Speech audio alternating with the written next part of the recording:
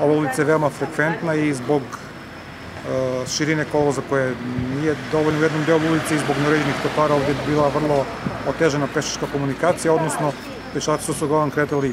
kolovozom, što je apsolutno nebezbedno sa aspekta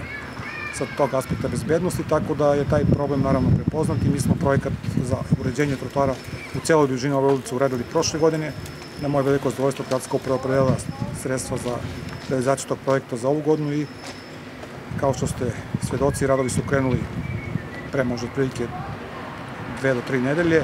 Ugovoreni rok je 90 dana. E, radovi teku veoma dobrom dinamikom, zaista bih ovom prilikom pohvalio izvođače. E, praktično rade i do celog dana, ja sam u petak, čini mi se nekde oko 7 sata obilazio, prolazio, video sam da, da rade, radovi su i za vikend i kao što vidimo radovi veoma dobro odmiču. Zemljeni radovi su u ovom delu ulice od Hajduk Velika pa do Dragola Blenkovića završeni, trenutno se radi na postavljanju ivičnjaka. Ono što je veoma bitno jeste da će u ovom delu ulice, dakle u ovom, od Hajduk Velika do ove rasknice biti jedna novina u gradu, po prvi put ćemo napraviti bicikličke staze koje će biti potpunosti fizički odvojene i od trotoara i od kolovoza, kao što vidite ovaj, ovaj jedan deo koji, koji je praktično buduća biciklička staza, zatim ide pojas zelenila gde će izvođač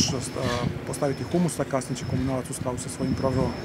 te površeno zeleniti i zasaditi drveće i ovaj treći deo će biti popločan behatom pločama koji će